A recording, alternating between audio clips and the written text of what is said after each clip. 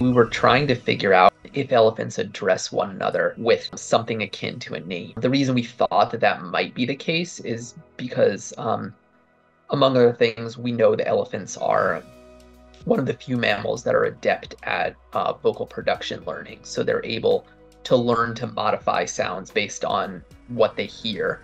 And not only that, but they can also mimic sounds that are totally alien to their own species.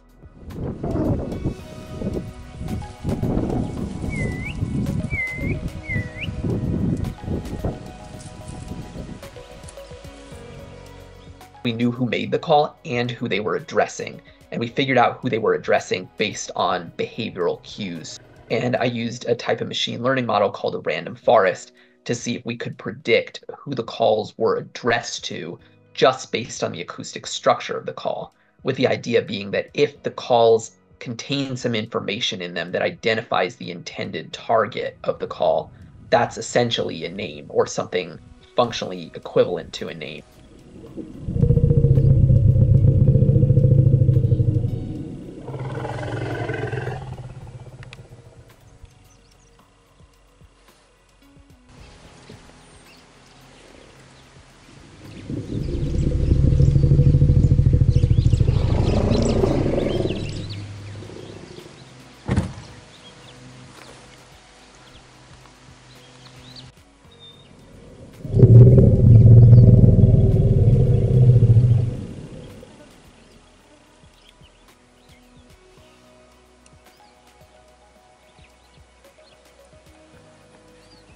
There are some intriguing parallels between elephants and humans that might suggest why our communication systems have evolved certain similarities, even though we're diverged by like 90 to 100 million years of evolution.